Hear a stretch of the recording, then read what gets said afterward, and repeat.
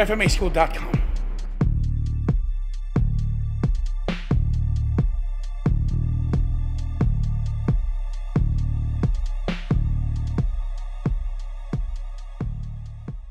Hi everybody, this is Guro Francis and this big your big boy Eskrimador and today we're going to be talking about the curving strike. Now the curving strike, the curbada or is well, the style that we're using is what was developed by Supreme Grandmaster Cacoy Cañete from Cacoy Doce Pares. May you rest in peace, sir.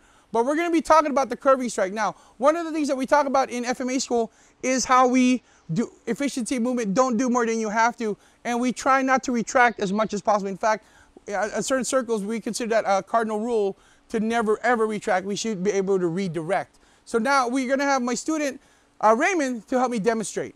Okay, so now we're going to have my, my student Raymond demonstrate what he's going to do. He's just going to keep his, hello, he's going to keep his stick in his shoulder. Closer. He's going to keep his stick in his shoulder and he's what he's going to do, he's going to block, right? Now, from here, what do I do? I can, I, I, I, again, we're trying not to retract. We want to be efficient in our movement. So if he blocks here, I'm going to go up here, strike to the top. Then of course he's going to try to move my hand away again. He's going to, and boom, I'm going to strike here again. And then he's going to try to move it again. Boom, there's a strike again. Then he's going to try to move it again. Boom, there's a strike again. And now he's going to try to grab my hand here, but then now he's overcommitted, and now there's my strike here, okay? Let's do that from the other angle. Raymond, over here, please. Okay, so he's to block here, I'm to curve my strike to the back of his neck. He's to try to move it around. I'm to strike it to, the, to his body. Wherever he decides to move it, push it back up here to the top of his head this time. And then he's to push it to the other side here. It's going to be to, an abanico to the side of his head. He's going to push it again to the other side. Abanico strike to the other head. And then he's going to try to push it to the other side.